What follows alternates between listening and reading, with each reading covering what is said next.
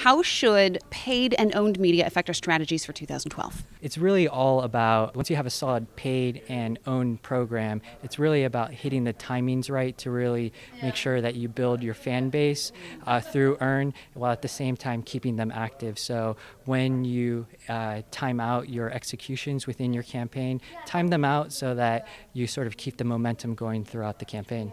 And are you doing anything else new this next year in relation to paid and owned media? Um, well, we can't really talk about it just yet, so sorry. But we do have a couple, I think, really exciting things coming down the pike from Kellogg's. So good. We're going to keep our eyes open for that.